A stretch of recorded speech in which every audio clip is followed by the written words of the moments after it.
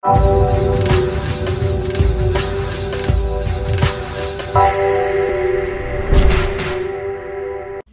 the fuck are you guys doing? Once again, this is Max, or Doing It For Her, coming back at you with the Road to 100 Ranked Victory series. This is episode 22, I think, and I'm rolling with Lyoto Machida because he is a highly, highly requested guy that I use by a lot of you guys. I guess a lot of my viewers are um, heavy, heavy Lyoto Machida fans, and he's fighting Ryan Bader on, a, on a, an upcoming card. I'm not sure which one, but I'll be on the lookout for that. I expect him to dominate, but people keep saying he's a puzzle that's been solved now, so I don't know. I still am I'm a Machida fan. I like him.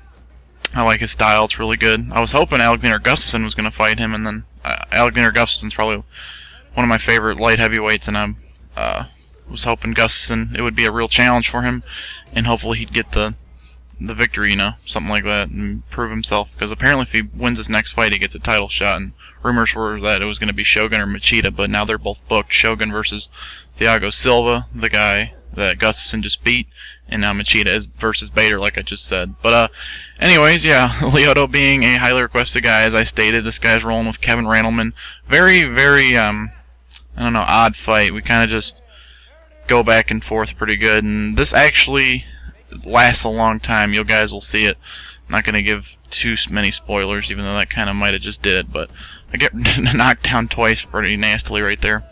And this was before my counterpunching was kind of like on key. Um, if you can see by my player matches I've been uploading it, like on the UFC 145 video and the UFC on Fox video, and then something other video that I made, you'll see my counterpunching has been really good. And like I said um, in a previous episode of uh, Road to 100 Ranked Victories, that I have all these old old ranked fights on my computer that I need to get off my computer. So that's what I'm gonna start doing. So the next few episodes, you won't see me as good as um I am now. If you could tell by that Mark Hunt last episode, that was a really old fight before the records even got reset. And man, you can tell how much I improved by that fight. I thought it was pretty cool. But uh, one idea that I do have is um, making goals. I know I do ask you guys who you'd like to see me use, but I'm thinking about setting up goals now. Like, for instance, using Cheick Kongo and getting a um, knockout with a body shot, something like that. So if you guys have any cool goals, like for example, the one that I just said, but here's what you guys could do. You could leave a comment saying, like, um, insert division here. We'll say, use light heavyweight division, use Shogun, go for leg kick TKO. Something like that. Something cool like that. Um, if you guys want to post comments like that, little challenges, I'll try to get them as much as I can and as best as I can in my future Road to 100 Rank Victories episodes. So, um, I think the Cheick Kongo one that I just said is what I'm going to do in my next live Pride fight. Which I know I promised, but like I said, I got to get all these old episodes off my computer so I can go and start playing some more with um my new stand-up style, kind of. I actually do enjoy counterpunching. I am glad that I got better at it, and I hope you guys have been uh, noticing because I know a lot of you uh, claim the the uh, ground style that I was strict to has been really bad, and I've gotten good with my clinch now. I think I'm an all-round good player in this game now. I, I know I wasn't before, but um, in the road to 100 rank victories really has along the way. And if you guys are new to the series, go check out all the old episodes. You can watch my, me uh, grow into a good player this game, and you can also get all the tips that I gave. I haven't been given as many tips as I used to lately, but one tip I'll give in this fight is that Watch the stamina bars closely. You'll see me always know when he's going to go for a reversal or something, because right, right there, the stamina bar, if you look in uh, the corners, it, they'll drop. Um, and you'll notice that's when they went for one. And I don't know what the fuck I was doing here. I think I was trying to go for full mount and I fucked up, and then he gets me with this lame ass fucking auto transition or whatever to side control that some people have. But back on that topic of the uh, stamina bar, you'll notice like a, a, slight drop of it.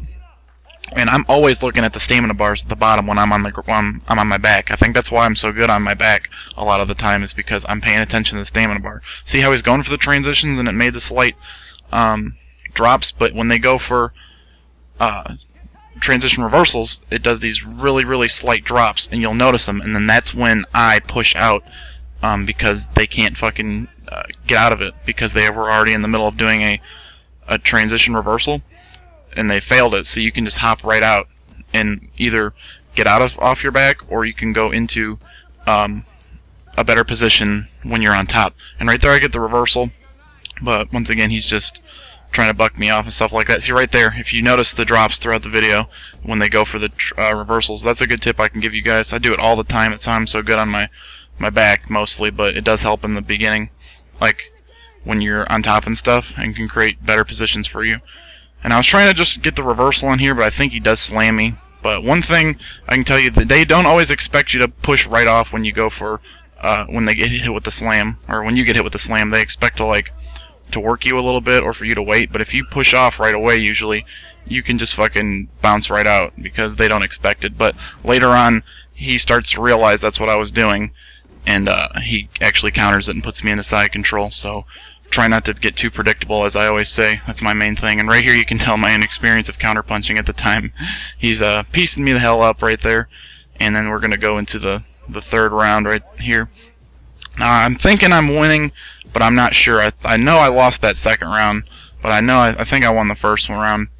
So that's my mindset going into it. And there's a replay of the big slam. I haven't done a two uh, episodes in one video lately, so if we can get this episode up to let's say 60 likes and at least I don't know 15 and 20 comments, because it Seems like people have stopped commenting lately, and I like to hear feedback, and I want to hear some challenges from you guys that I stated earlier. So, 60 likes, I know we can achieve that really easily, and um, 15 comments or 20, and I'll do a cool two episodes in one uh, video as the next episode. So we'll do 23 and 24 if we can achieve that goal, because I got two really sweet three-round Cub Swanson fights. Those are my first fights in the uh, featherweight division because he's like the only guy I really like using in that division because everybody picks fucking Aldo and he's OP as shit, over fucking powered.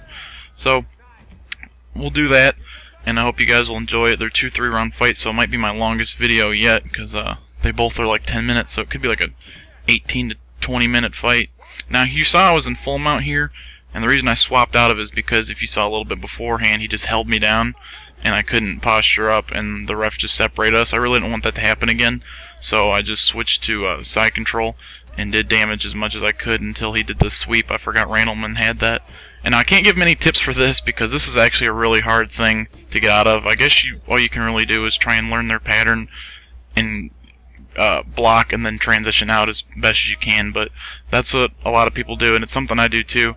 And here's what I was talking about earlier about um, they go for the transition reversal and you can get off your back really easily. As you see, I, I kind of waited for him to do another one, and as soon as he hits it, up my eyes were already on his stamina bar, and I kicked right out.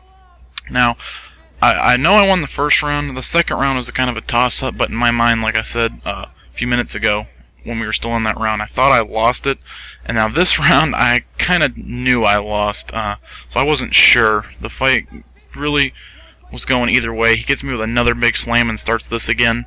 I'm trying my best to get out of it, and once again, like I said, you just gotta, you know, try and learn the pattern and do your best. And I pop out here again, and he's playing really timid because maybe he thinks he lost too, so he's trying to just keeps taking me down, keeps taking me down. I should have been throwing my intercept knee to try and scare him, or at least try and rock one, but I wasn't thinking at the time. I kind of forget things like that.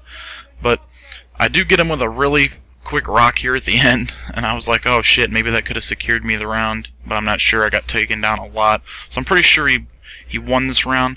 Then when it comes down to it, guys, for the first time ever, after 21 episodes, episode 22, we get a decision, and I win it by unanimous 29-28. Hope you guys enjoyed this. Now let's try and get those 60 likes and 20 comments. This has been Max. Thank you for fucking watching. See you, everybody.